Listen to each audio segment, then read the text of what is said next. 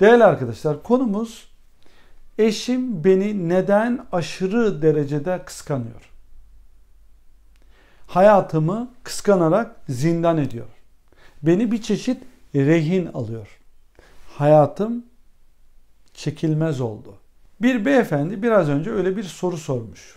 Soruya buradan cevap vermek istiyorum değerli arkadaşlar. Şimdi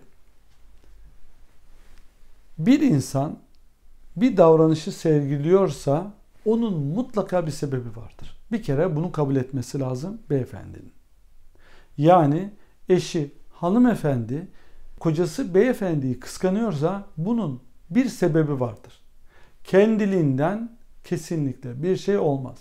Etki tepki yasası. Genellikle aşırı derecede bir kıskançlık varsa bunun cevabını beyefendi biliyordur bilinçaltı kısmında. Yaptığı hatayı biliyordur.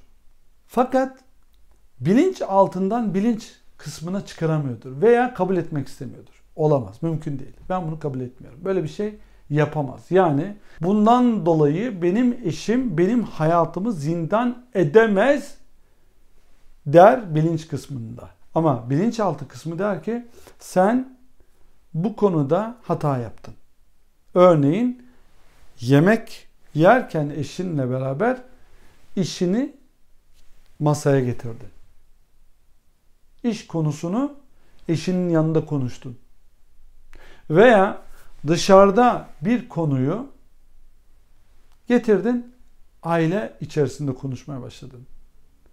Örneğin tam muhabbet ediyordunuz, muhabbetin içerisindeydin, eşinle beraber film izliyordun belki romantik bir film izlerken dışarıdan konuyu getirdin veya bir kişiyi gündeme aldın.